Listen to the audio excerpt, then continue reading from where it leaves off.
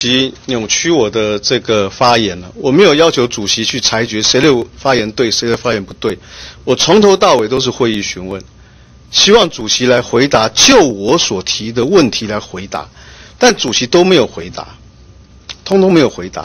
如果一些我我跟你报告啊，我我回答的是你不接受，这个这不叫做不回答，我都有回答，我很尊敬你。给我一分钟，你跟我讲了十秒去了，时间重新计算，来一分钟。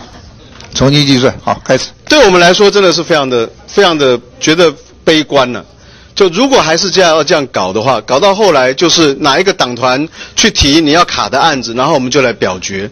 今天不是谁的手多、谁的手、谁的票多、谁的票少的问题，而是没有办法回到程序委员会的执掌来做讨论或来做说明。如果还是这样的话，我觉得这个会议再开下去没有意思。如果国民党。或者主席还是硬要用表决的方式来处理，那我们就离开，我们就退席，让国民党自己去玩嘛。